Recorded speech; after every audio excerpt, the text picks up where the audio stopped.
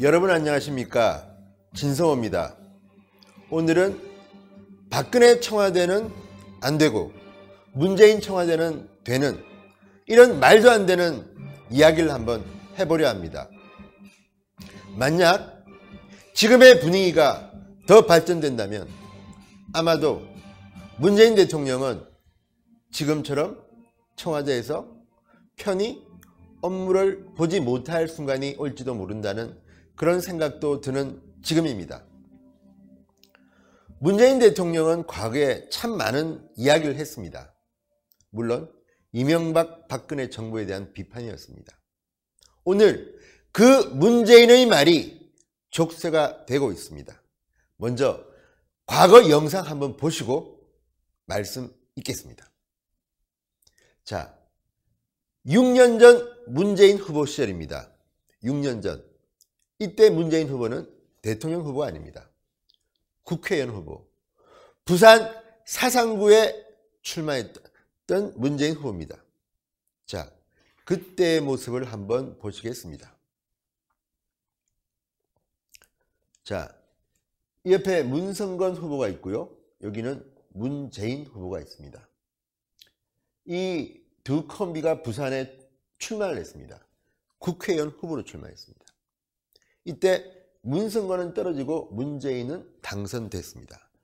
초선 국회의원이 된 겁니다. 자, 초선 국회의원이 되기 위해서 부산 국회의원 선거에서 문재인 후보가 했던 말들을 한번 들어보겠습니다. MB정부의 비판적인 계속합니다. 민간인들을 감시하고 탄압하기 위해서 사찰을 했고 자, 또 참여정부에서 임명됐던 공기업 임원들을 밀어내기 위해서 불법적인 사찰을 자행했고 자 여기까지 보면 문재인 국회의원 후보는 이명박 정부가 불법적인 사찰을 통해서 공기업 임원 등을 사찰하고 밀어내려고 했다는 겁니다. 지금의 문재인 청와대의 모습과 많이 겹쳐 보이지 않습니까? 자, 문재인 후보의 이야기는 계속됩니다. 비판적인 방송과 언론을 장악하고 길들이기 위해서 비판적인 방송과 언론을 장악하고 길들이기 위해서 이 말은 이명박 정부가 언론 탄압을 했다는 의미로 들립니다. 또 계속 이어 듣겠습니다. 그런 사찰을 자행했습니다. 그리고 국가적인 범죄라고 이야기합니다. 문재인 국회의원 후보 이야기입니다. 최근에 청와대에서 근무하는 근무했던 6급 주사입니다. 검찰에서 파견된 수사관입니다. 김태우 수사관이 최근 문재인 청와대에서 일어나는 많은 불법적인 일들을 폭로하기 시작했습니다. 거기에 보면 아까 나왔죠? 공기업 임원 등 과거 정권에서 했던 사람들을 사찰하고 또 정권의 비판적인 언론을 사찰했다고 했습니다. 이번에 나경원 원내대표가 자유한국당 의원총회에서 공개했던 김태우 리스트의 제목만 보더라도 조선일보가 나옵니다. 조선일보가 여러 번 나옵니다. 홍석현 회장 이름이 나옵니다. 중앙일보 회장입니다. 코리아나 호텔 사장 부인의 자살 이야기가 나옵니다. 뭡니까?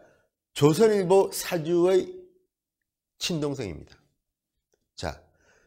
자, 문재인 청와대가 무슨 권리로 이렇게 민간인, 특히 언론사, 언론인 등의 동향을 사찰해서 보고서를 올립니까? 물론 문재인 청와대는 그 명백한 증거를 보고도 아 이거 불순물이다 보고되지 않았다 우리가 이런 거 하지 말라고 했다고 했는데 김태우 사관은 뭐라고 했습니까? 무슨 말이냐? 내가 15개월 동안 열심히 한 이유는 위에서 좋아하니까 계속 하라고 하니까 했다는 겁니다. 물론 이것들은 법정에서 언젠가 진실 여부가 가려지겠지만 적어도 문재인 대통령은 6년 전 부산 국회의원 선거에 나와서 했던 저 말을 지금은 청와대에 앉아서 대통령으로 반사되는 것을 봐야 하는 입장이 되어버렸습니다. 자, 보십시오. 과거에 박근혜 청와대를 기억하십니까? 압수수색까지 당했습니다. 검찰이 특검이 청와대 압수수색을 했습니다. 지금 김태우 수사관과 청와대의 조국 수석, 임정석 비서실장, 박형철 반부패 비서관 말이 다 다릅니다.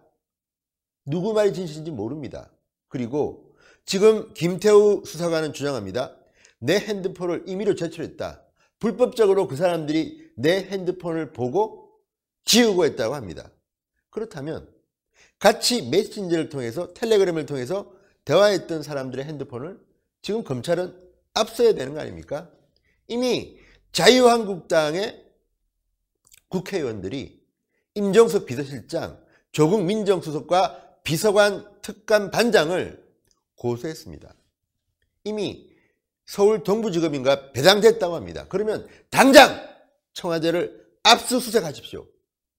왜 박근혜 시절을 했던 것을 지금 정권, 지금 검찰은 눈치를 보고 못할까요? 한번 보겠습니다. 그리고 지금 김태우 사관에 대한 수사도 서울중앙지검에서 수원지검으로 내려보냈습니다. 구실이 옹색합니다. 김태우 사관의 집이 수원인 것 같습니다. 자, 자유한국당은 걱정합니다. 수사를 축소해야 하는 거 아닌가? 특별사반을 만들어라, 독립적으로.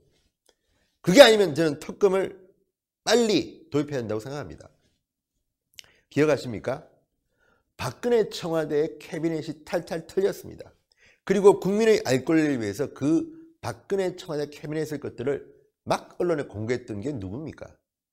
그런데 일개 수사관이 이런 청와대의 불법적인 일들이 일어나고 있다는 것을 폭로하기 시작하니까 공무원, 뭐 기밀 누설 혐의로 임정석 실장이 김태우 수사관을 고발해 버렸습니다. 자, 과거를 보면 기억나시죠? 조홍천 비서관 그리고 박완천 경정 자, 이분들 지금 1심, 2심 저 재판 받았습니다. 무죄입니다. 대법원 판결이 남았지만 아마도 무죄가 될 겁니다. 그렇다면 왜 그들은 처음에는 골패안 같은 걸 가지고 압박하더니 정작 임종석 실장은 김태우 수사관을 공무상 기밀 누설 혐의로 고발했을까요? 그리고 아마도 김태우 수사관을 구속시키려는 것은 아닐까요? 김태우 수사관은 지금 휴가를 갔는데 굉장히 불안해하고 있습니다. 이런 일들이 과연 문재인과 박근혜가 달라야 하는 이유입니까? 대한민국은 헌법이 있고 법률이 있습니다. 실정법에 따라서 수사도 해야 되고 법원에서 판결도 해야 됩니다. 물론 제가 뭐 박근혜 정권에서 있었던 뭐 김기춘 실장이나 우병우 수석을 복잡하게 뭐 논리로 유죄다 무죄다 이런 걸 여기서 품평할 생각은 없습니다. 이미 그분들은 구속된 상태입니다. 다시 문재인 후보의 말들을 한번 보십시다. 더 심한 말이 다음에 나옵니다. 자, 저 표정. 우리 이명박 정부가 국무총리실 안에 범죄 조직을 하나 설치해 놓고 그것을 운영한 겁니다. 자, 그게 뭘까요? 이명박 정부의 국무총리실에서 민간인 사찰했다는 의혹을 받아가지고 일부 공무원들이 처벌받았습니다.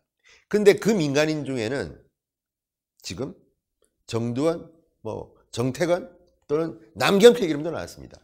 자, 이번에 청와대에서 나왔던 김태우 사관이 공개한 그 이름들을 보면 우윤건 뭐 등등이 나옵니다. 이강래 그리고 변장균, 진대재 이 사람들은 다 집권 여당 쪽에 있던 인사들입니다. 어떻게 보면 임정석 비서실장의 경쟁자일 수 있는 우윤건 러시아 대사 한때 비서실장 후보로 거론됐던 사람입니다. 장하성 전 정책실장이 너무 일을 못한다고 비판받을 때 변양균 전 정책실장 라인들이 들어가야 되는 거 아닌가 하는 이야기도 나왔습니다.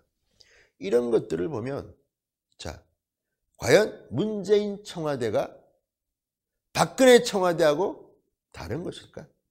그리고 문재인 후보가 이야기했듯이 국무총리실 안에 범죄 저지를 운영했다면 가정을 해보겠습니다. 김태우 서관 말처럼 위에서 윗선에서 좋아하는 정보기 때문에 조선일보도 사찰하고 홍석현 회장 혐의도 사찰하고 또는 뭐 코리안 호텔 사장 심지어는 거기 보면 뭐 홍준표, 최경환 막 이름이 줄줄이 나옵니다. 그렇다면 제가 묻겠습니다. 혹시 문재인 청와대에는 범죄 조직을 운영하고 있지 않습니까? 이렇게 이야기하면 당신들 기분 나쁘겠죠. 그런데 분명히 6년 전 문재인 후보는 이명박 정부의 국무총리실에 범죄 조직이 운영되고 있다고 이야기하고 있습니다. 그래서 우리는 이야기합니다. 내가 하는 사찰은 착한 사찰인가? 여기 나옵니다. 대통령은 국정에서 손을 떼라. 박근혜 최순실 게이트. 똑같이 되돌려 드리겠습니다. 문재인 대통령이 하는 사찰은 착한 사찰입니까? 대통령은 이게 사실이라면 국정에서 손을 떼야 하는 것 혹시 아닙니까? 되돌려 보겠습니다. 자, 이번 의혹이 사실로 밝혀지면 두 분 옷을 벗거나 옷을 벗거나 합니다. 민정수석과 비서실장입니다.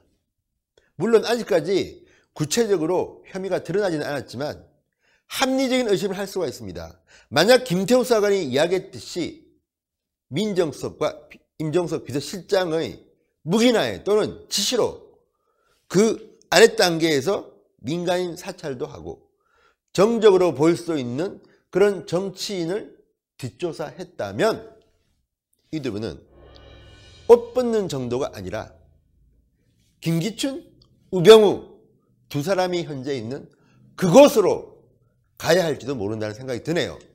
봅시다. 자, 그 다음이 중요합니다.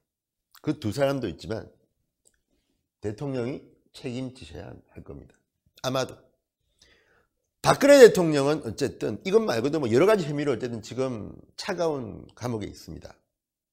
똑같은 논리라면 지금 벌어지고 있는 일들은 문재인 대통령이 책임져야 할 일입니다. 왜? 그 청와대에서 모든 일이 벌어졌는데 청와대 대변인이나 국민소통수석은 그 수사관을 미꾸라지라고 하고 같이 얼마 전까지 근무했던 사람들에 대해서 인격적인 모독을 하고 있습니다.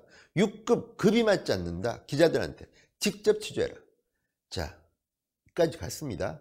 그런데 김태우 폭탄이 김태우 문건이 폭발해 버린다면 어쩌면 문재인 대통령은 어떤 식으로든지 책임지셔야 할 겁니다. 보시겠습니다. 그 다음은 적폐청산한다던 문재인 대통령 중심으로 지금 가고 있습니다. 신적폐가 아니라 과거의 적폐와 똑같은 모습으로 가고 있는 것 아닌가 이런 의심을 지울 수가 없는 것입니다. 그 다음 촛불입니다. 자, 머리는 감추었는데 꼬리는 드러나 있다. 진실을 숨기려 하지만 거짓은 이미 드러나 있다. 이 말을 조금 바꿔보겠습니다. 자, 청와대가 물론 들어가야겠죠. 청와대는 진실을 숨기려고 하지만 불법 사찰의 실마리는 이미 드러나 있다. 자, 오늘 직설은 여기까지입니다. 제가 말씀 안 드려도 아시겠죠. 박근혜 청와대는 저렇게 가혹하게 압수수색도 당하고 민정수석, 비서실장, 대통령까지 감옥에 가 있습니다. 대통령은 탄핵을 당했습니다.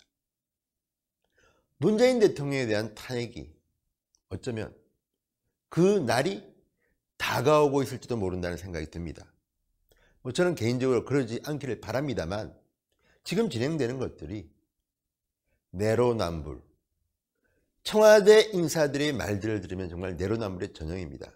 지금 진행되고 있는 김태우 수사관의 폭로와 그에 따른 청와대의 대응 참 한심합니다. 이거요 자꾸 굴러가면 문재인 탄핵 그날이 올지도 모르겠다는 생각이 듭니다. 진성호의 직설 여기까지입니다. 감사합니다.